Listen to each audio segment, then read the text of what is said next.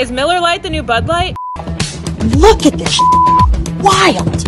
It's time beer made it up to women. So today, Miller Lite is on a mission to clean up not just their shit, but the whole beer industry. First, we turn the bad into compost. Then we feed compost to worms.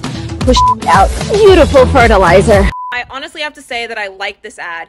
Not everything has to be woke, okay? And I like it because they're admitting the over sexualization of women in the beer industry and instead are highlighting how women have positively impacted the industry. And instead of painting women in the light of only being pinup models, they're showing real women doing real work. They aren't being overly woke. And to me, this is catering to an actually pro women demographic in the right way. So everyone that's saying boycott Miller Lite, I think is just looking for some reason for it to be really woke. And I actually appreciated the fact that these women women are covered up. They're not in these super skimpy outfits, and they chose to celebrate real womanhood. So I think it was a smart campaign for Women's Month. But what do you guys think?